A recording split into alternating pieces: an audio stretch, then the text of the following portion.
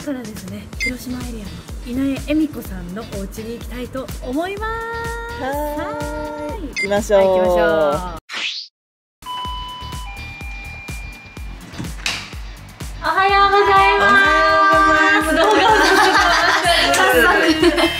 さんです。よろしくお願いします。よろしくお願いします。ラッキーラッキー。それでは今回恵美子さんのお家にお邪魔してます。お願いします。お願いします。もうねほりはほりちょっと見させていただきたいんですけど大丈夫ですか？大丈夫です。ありがとうございます。無理やり言わせました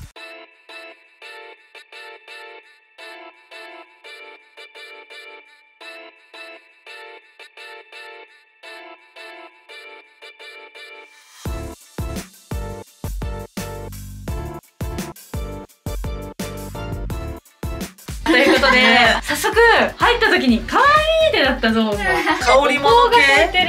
ね。そうです。この香りは何ですか入った時？これは無印の方です。ね、え？あこれ？そうです。結構コンパクトなやつで。300円くらいで結構安くって。うんいい匂い癒される。めっちゃいい匂い。うんね。すっごい高い匂いする。ね。うん。何の香りですかこれ？ウッド。へええー無印あるんだ。はい。結構いろんな種類で。もへー。で顔。早速めっちゃいいこと聞きました棒のやつですか？うねちょっとちょっ短とめな短いこれ棒のね。赤っぽい感じですもんね。ここにちょっと季節の。あ季節の。かわいい。かわいい。こういうの大事ですよね。私もツリーとか置くタイプの人になりたいんだよ。スあニーカーも。そうなんですよ、もう入りきらなくって。結構ねシューズクローゼットいっぱいあるのに。そうなんです。スニーカーがやっぱ多いですねそうですよね。ファッション的にもそうですよね。うん。じゃあお願いしどうぞおます使いください。それでは行きたいと思います。やばくないですか？すごい本当に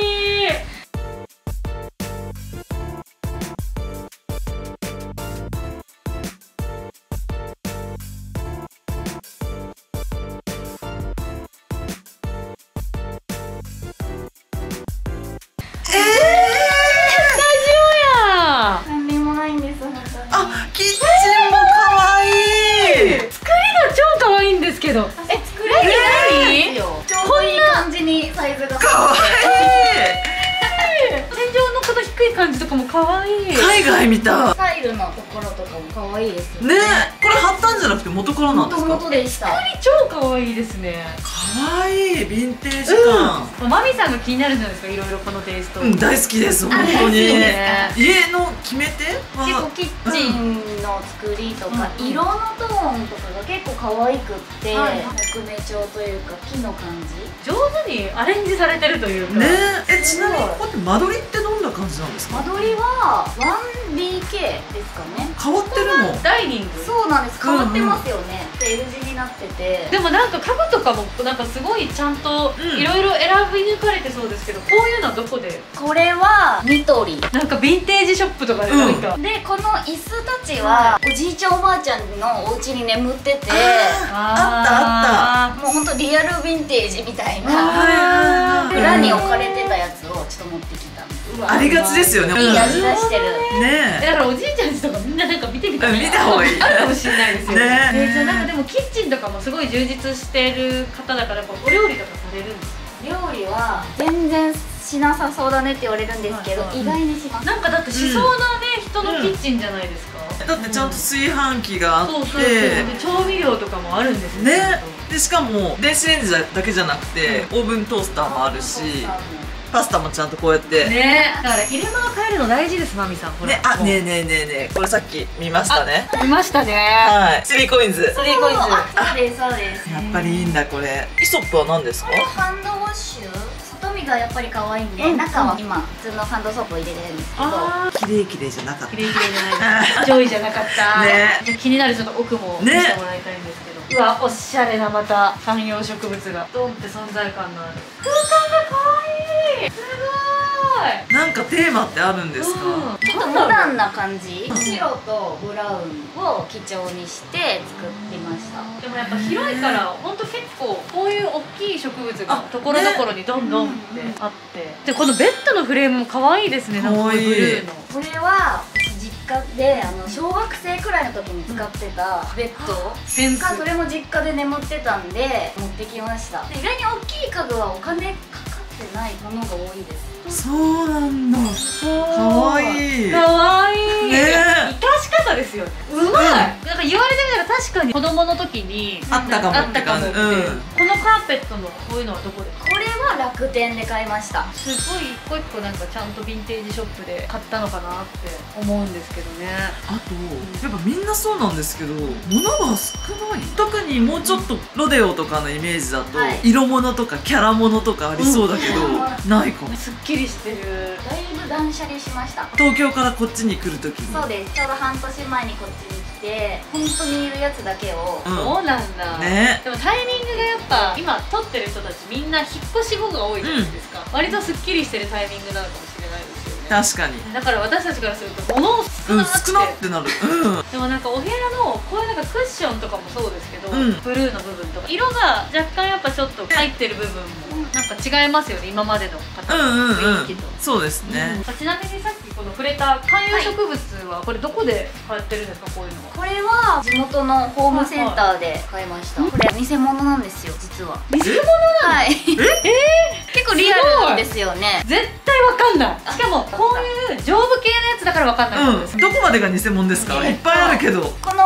ポトスこの子ポトスかんなかっわかんたない。え私も偽物がいいですそしたら。あパキれラはは本物です。あこれはでも育てやすいって言われてるやつをもう調べて買いました。えあれが衝撃結構。しかもホームセンターのとかなんですね。そうなんです。びっくり。台所のやつは？あれは 3coins で売ってたあで2分の1が偽物だったってことですね。でもああいうなんか存在感大きいやつとかは育てるの大変そうだし、ね。確かにそっちの方がなんか気が楽かも。こおすすめですこはちなみにもうアクセサリーを置いて収納してるゾーンなんですよね。そうです。やっぱシルバー派ですね。シルバー派ですねシルバーばっ昔から。りちなみにこっちは何が入ってるこっちはもう小物です。小物系。いろいろマニキュアとかまあハサミとかが入ってて。この棚とかは何ここはマスクとあとは結構集まっちゃうんですけどメガネたちサングラスとかじゃあ本が当お家出る前のなんか最終的にこううん。マスクつけたりとか、そうですね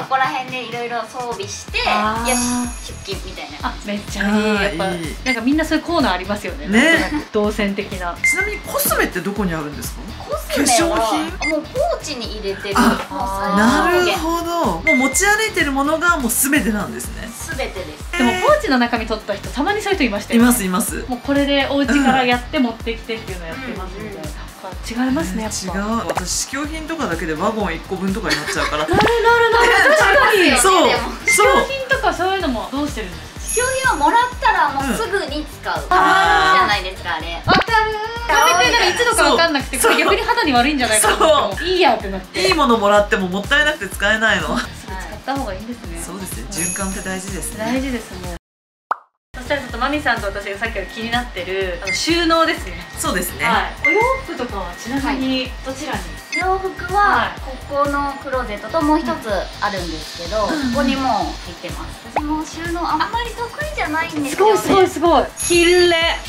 じゃないんですけど。こバッチリこ大体トップスが入ってて。